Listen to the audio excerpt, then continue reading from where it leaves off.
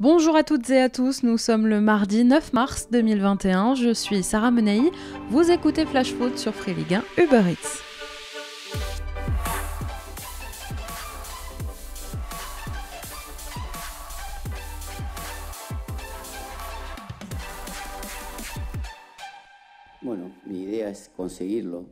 Eh, L'idée est d'obtenir l'adhésion des joueurs. Je vais d'abord convaincre mes joueurs que l'idée de mon projet est de rivaliser avec tous les adversaires. Eh, Et essayer aussi de faire du jeu. Pour moi, le foot, du début à la fin, c'est le jeu. Voilà les premiers mots de Jorge Sampaoli, intronisé nouvel entraîneur de l'Olympique de Marseille il y a quelques jours. L'Argentin a été officiellement présenté cet après-midi au Vélodrome. Ses intentions sont claires, ramener le jeu au centre des débats. Son premier objectif l'est tout autant, relancer une équipe à la dérive. Jorge Sampaoli, testé négatif au Covid, est donc sorti de son isolement un peu plus tôt que prévu d'ailleurs pour diriger hier après-midi son premier entraînement à la commanderie où l'entraîneur argentin a rencontré ses joueurs pour la première fois. Il leur a promis du boulot, beaucoup de vidéos et des changements tactiques. Je vous rappelle que Sampaoli a signé un contrat jusqu'en juin 2023 avec l'OM.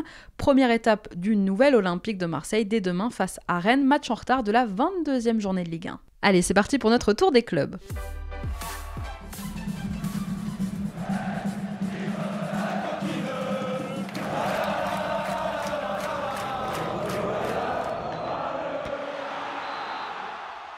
Tombeur du Stade Rennais, puis des Martiniquais du club franciscain, le SCO connaît depuis hier soir son adversaire pour les huitièmes de finale de la Coupe de France. Les joueurs de Stéphane Moulin affronteront Sedan, club de National 2, l'équivalent de la 4 division. Il faut remonter à la saison 2012-2013, alors que les deux clubs évoluaient en Ligue 2 pour retrouver une confrontation entre Ardennais et Angevin. Depuis cette date, Sedan, double vainqueur de la Coupe de France, a connu bien des déboires jusqu'à être relégué même en National 3. Pour Ismaël Traoré, le capitaine angevin se déplace à Sedan aura sans aucun doute une saveur particulière, lui qui a porté pendant 7 ans le maillot de Sedan. L'affiche entre Angers et Sedan est programmée le 7 avril. À Brest, ça se bouscule pour Robin Fèvre. Révélation de la saison en Ligue 1, le joueur est notamment courtisé en Allemagne. Selon les informations de l'équipe, aujourd'hui le Bayer Leverkusen, le Borussia Dortmund, mais aussi le Leeds de Marcelo Bielsa en Angleterre et l'Olympique lyonnais auraient un œil très attentif sur le milieu offensif du stade brestois. Pour sa première saison pleine en Ligue 1, Fèvre a inscrit 5 buts et délivré 3 passes D pour l'instant. Son contrat avec Brest court jusqu'en juin 2025. Le club assure que son joueur n'est pas à vendre, à moins qu'arrive une offre qui ne se refuserait pas. À Dijon, maintenant, Wesley Lotoa a été cambriolé dimanche. Le milieu de terrain dijonnais était en week-end avec sa compagne lorsque les faits se sont produits. Le où les individus sont repartis avec une Porsche, des sacs de luxe, des bijoux. Et aujourd'hui, la police judiciaire de Dijon est en charge de l'enquête. Le couple sera entendu très prochainement afin d'établir le préjudice exact. La voiture a quand même été retrouvée en bon état par la police dès dimanche en fin d'après-midi. Et ce n'est pas la première fois que des joueurs du DFCO sont la cible de cambrioleurs. Je vous en avais déjà parlé. L'an dernier, quatre d'entre eux avaient été cambriolés. Au mois de septembre, les policiers dijonnais étaient parvenus à mettre la main sur deux suspects. À maintenant, absent des derniers matchs des 100 et or en raison d'une blessure musculaire, Ignatius Ganago reste tout de même dans les plans de Tony, le sélectionneur camerounais. Ganago figure aujourd'hui dans une présélection pour le prochain rassemblement qui verra le Cameroun affronter le Cap Vert de Steven Fortes avant d'accueillir le Rwanda. Des rencontres programmées les 22 et 30 mars prochains dans le cadre des éliminatoires de la Cannes 2021. Le Cameroun y participe à ces éliminatoires même s'il est déjà qualifié au titre de pays organisateur. Retour en France, ce sera le choc de ces huitièmes de finale de la Coupe de France. Le Paris Saint-Germain va affronter le LOSC. Ces huitièmes de finale sont prévus les mardis 6 et mercredi 7 avril. Sauf que voilà, si le PSG se qualifie demain en quart de finale de la Ligue des Champions, il devra jouer son match au même moment. La rencontre de Coupe de France serait donc décalée au 17 mars. À Lorient, Paul Nardi a hérité d'un carton rouge après le match justement de Coupe de France au Puy-en-Velay, perdu samedi par les Merlus. Le gardien lorientais aurait tenu des propos déplacés envers le corps arbitral. Il passera jeudi devant la commission de discipline de la FFF, puisqu'il s'agit de la Coupe de France, mais il est d'ores et déjà suspendu pour la réception de Nice dimanche en championnat. Au Puy, Nardi retrouvait sa place dans les cages après deux mois sans compétition, notamment à cause du Covid. Alors déjà en place depuis plusieurs rencontres de championnat, c'est donc Mathieu Dreyer qui gardera encore une fois les débute face à Nice dimanche. Christophe Pellissier devra aussi se passer de son capitaine. Averti à trois reprises sur les dix dernières rencontres de Ligue 1, Fabien Lemoine sera suspendu lui aussi. On continue notre tour des clubs avec l'actu lyonnaise dans un instant, mais avant ça, c'est l'heure de notre déclat du jour. Elle est signée TJ Savanier. C'est mon cœur qui parle. vous avez un chef d'espoir qui une retenue.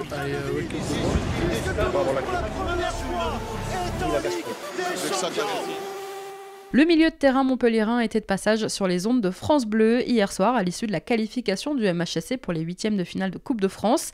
Sa saison, son parcours, son avenir ou encore la sélection nationale, TJ Savanier s'est confié et à moins d'une semaine du derby face au Nîmes Olympique que le club gardois avait remporté à l'aller 1-0 grâce à Renaud Ripard, c'était fin septembre, Savanier, qui avait quitté les Crocos dans la douleur il y a un an et demi, ne compte absolument pas faire de cadeau à ses anciens coéquipiers dimanche, d'anciens coéquipiers qui sont pourtant en difficulté en Ligue 1 cette saison et qui doivent se battre pour le maintien, mais pas de sentiment pour TJ, écoutez-le. Non, moi c'est sûr, je me, dès que je suis arrivé ici le premier jour, je l'ai dit, si je suis là euh, aujourd'hui, c'est par rapport à Nîmes. Euh, j'ai fait, j'ai fait euh, des très bonnes saisons là-bas. Sans eux, je ne serais pas là. Et ouais, déjà, d'une, je les remercie parce que j'ai passé des très bons moments là-bas. Et, voilà, après, moi, pour moi, c'est, le, terrain qui compte. Aujourd'hui, je suis Montpellierin. je suis 100% avec eux et je pense qu'on va aller au quotidien, on va, on va aller manger, euh, on va aller manger les crocodiles là-bas. Voilà, TJ Savanier qui lance hein, déjà ce derby dimanche après-midi. Montpellier a donc rendez-vous au Costières pour ce qui s'annonce déjà être un derby brûlant entre les deux équipes.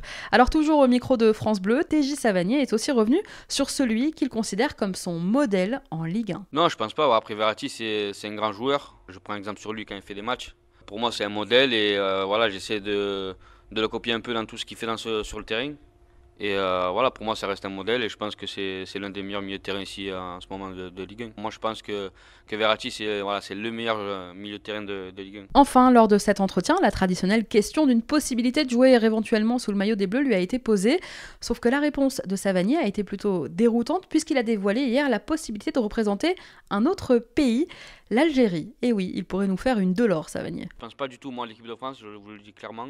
C'est un rêve, c'est un rêve. Mais pour l'instant, je préfère euh, faire des bons matchs avec mon club et après on verra ce qui se passera. Mais pour l'instant, je ne passe pas du tout à l'équipe de France. Moi, j'ai une autre question par rapport à ça. Euh, on l'a vu par exemple avec Andy Delors qui est parti avec l'Algérie. Est-ce que toi, il euh, y a uniquement cette sélection française que tu peux faire ou tu as d'autres origines qui peuvent te permettre éventuellement d'être international dans un autre pays? Non, pareil, je peux être, je peux être aussi avec, avec l'Algérie parce que mon grand-père est né en Algérie. D'accord. Et ça, c'est quelque chose que éventuellement tu as pensé? Non, non, franchement, non. je pense pas. Je préfère, moi, comme j'ai dit, je préfère me consacrer dans mon club et essayer de, tout donner. Après, on verra ce qui se passera. Non, je pense pas à ça pour l'instant. Est-ce que Andy Delors, qui est votre pote, il vous tanne avec ça? Il vous dit Viens avec moi, viens en Algérie. on, en, parle. il a dû, le tenter quand même. On hein. en parle de temps en temps, mais bon, voilà, après, c'est. Comme j'ai dit, moi, c'est pas un objectif, c'est moi, c'est de rester ici pour l'instant, essayer de faire mes matchs, après on verra. Alors, il a beau ne pas y penser, TJ Savanier, voilà en tout cas une réponse qui ne devrait pas laisser indifférent le sélectionneur des Fenech, Jamel Belmadi. Allez, on reprend notre tour des clubs. L'Olympique lyonnais a acté hier une baisse de salaire de 5 à 25% Le club a annoncé hier avoir trouvé un accord de réduction salariale avec les joueurs, mais aussi avec les membres de l'encadrement, lesquels pourront en échange convertir une partie de leur rémunération en actions d'OL Group. De l'argent directement réinjecté dans l'entreprise. Donc un vrai businessman, ce Jean-Michel Aulas. Cette baisse s'appliquera à partir du mois de février et pourra aller jusqu'au mois de juin. Sur le terrain, maintenant qualifié pour les huitièmes de finale de la Coupe de France après sa victoire face à Sochaux samedi l'OL se déplacera sur la pelouse du Red Star qui évolue en national, le Red Star qui avait éliminé Lens samedi. La rencontre aura lieu le 6 ou le 7 avril prochain. À Marseille, dans le cadre des nombreux changements opérés au sein du club en ce moment, on a appris que Grégory Vignal allait quitter le club. Selon l'équipe, le nouveau président Pablo Longoria aurait déjà acté cette décision. Vignal, l'ancien Lançois, l'ancien joueur, était arrivé l'été dernier sur une idée de Jacques-Henri Hérault. Il avait alors la responsabilité de la préformation. Il devait aussi faire le lien entre la formation et le monde pro. Vignal va donc quitter ses fonctions. On ne sait pas encore s'il sera remplacé. Hier soir, à l'Alliance Riviera, l'AS Monaco s'est qualifié pour les huitièmes de finale de la Coupe de France en battant Nice 2-0 grâce à des buts signés Kevin Voland et Ruben Aguilar. En huitième, les Monégasques vont affronter une autre équipe de Ligue 1, le FC Metz. Cette rencontre se jouera encore une fois le 6 ou le 7 avril prochain, quelques jours seulement après un match de championnat qui verra déjà Grenaz et Monégasques s'affronter dans le cadre de la 31e journée de Ligue 1. On parlait de Montpellier il y a quelques instants, Montpellier qui affrontera de son côté les Voltigeurs de Châteaubriand, club de National 2, pour ses huitièmes de finale toujours de Coupe de France. Châteaubriand était deuxième de son groupe en N2 quand le championnat s'est arrêté. Le club a sorti deux formations de son niveau au tour précédent, Romorantin et les Herbiers, et puis aussi un club de N3, Gonfreville.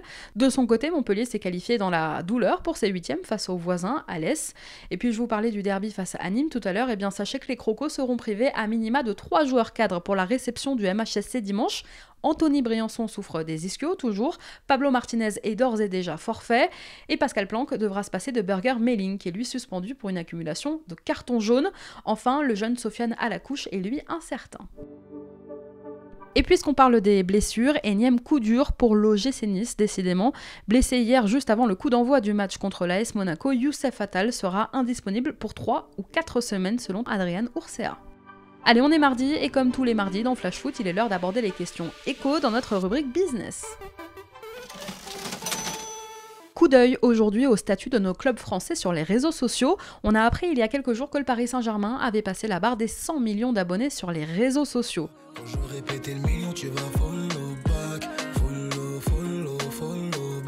Le club parisien continue d'accroître sa popularité à travers le monde sur les différentes plateformes en s'installant eh à la table tout simplement des plus grands clubs européens. On assiste à une impressionnante percée sur les différentes plateformes que sont Facebook, Twitter, Instagram, YouTube, TikTok aussi. Il y a 10 ans, 500 000 personnes seulement suivaient le club à l'époque à travers ces différentes applications. Alors comment expliquer cette percée justement? Le recrutement de Neymar évidemment n'est pas étranger à cette internationalisation puisque les Parisiens sont particulièrement suivis au Brésil par exemple, premier pays d'origine de ses followers sur Instagram. Mais la progression s'explique aussi ces derniers mois par le récent parcours européen du club. Le PSG a connu une accélération fulgurante depuis sa première finale de Ligue des Champions l'été dernier. La franchise s'exporte aujourd'hui sur tous les continents avec des fan clubs dans près de 30 pays, en Chine, en Algérie, au Mexique, même en Inde. L'exposition du PSG est aussi très prometteuse sur TikTok, vous savez, le réseau social en plein boom, surtout chez les ados. Avec 5 millions de followers, le compte officiel parisien pointe à la deuxième place du classement des clubs les plus suivis sur cette plateforme. Alors aujourd'hui, le Paris Saint-Germain est le sixième club le plus suivi au monde sur les réseaux, derrière les monstres que sont le Real Madrid, Manchester United, le FC Barcelone ou encore Chelsea, que des clubs finalement qui ont remporté la prestigieuse C1. Allez, on reprend notre tour des clubs et on reste à Paris justement.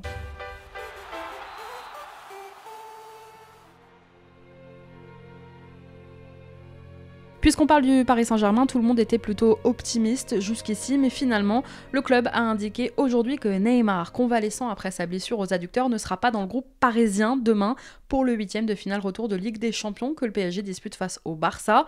Fin du suspense, donc fin des spéculations. Le Brésilien, déjà forfait à l'aller, avait pourtant repris l'entraînement ces derniers jours, mais le club eh a préféré ne prendre aucun risque et lui laisser le temps de retrouver tous ses moyens avant de lui faire retrouver la compétition. Côté droit, incertitude aussi autour d'Angel Di Maria, absent depuis près d'un mois en raison d'une blessure lui à la cuisse. L'Argentin a certes fait son retour samedi en entrant en jeu face à Brest, mais il pourrait être encore un peu juste pour débuter la rencontre demain soir face au Barça, ce qui pourrait encore une fois profiter à Pablo Sarabia puisque Moiskin est lui aussi indisponible, tout comme Juan Bernat évidemment. Thilo Kerrer et Alessandro Florenzi en revanche seront bien là demain soir au Parc des Princes. À Rennes, maintenant, le président du club Nicolas Holvec, hospitalisé pour des maux de ventre depuis la semaine dernière, s'est exprimé hier dans un communiqué pour dénoncer ce qu'il appelle de contre-vérités au sujet du départ de Julien Stéphan, alors qu'un article publié dans les colonnes de West France avait semé le doute sur la véritable nature des relations entre Stéphan et le directeur sportif du club Florian Maurice. Alors je cite Nicolas Holvec, J'ai toujours soutenu Julien Stéphan même dans les périodes les plus difficiles.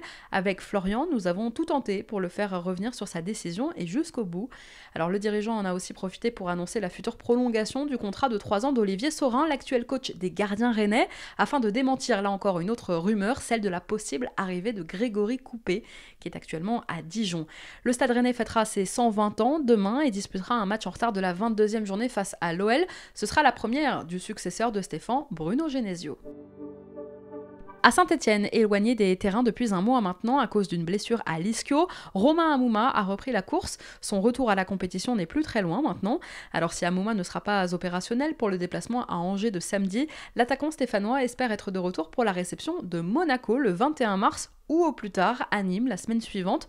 On ne prendra aucun risque, a prévenu de son côté Claude Puel. Supporters strasbourgeois, plusieurs internautes s'interrogeaient ce matin sur les réseaux sociaux quant à la réception d'un mail de la part du Racing concernant le remboursement de leur abonnement pour la saison 2020-2021. Davy In, le responsable de la billetterie du club, a tenu à rassurer tout le monde, à rassurer les abonnés et à confirmer que cette opération était bel et bien réelle et sécurisée. Pas de panique donc. Merci à tous d'avoir été avec nous, c'était Sarah Menei. Vous écoutiez Flash Foot, on se retrouve demain sur Free Ligue 1 Uber Eats.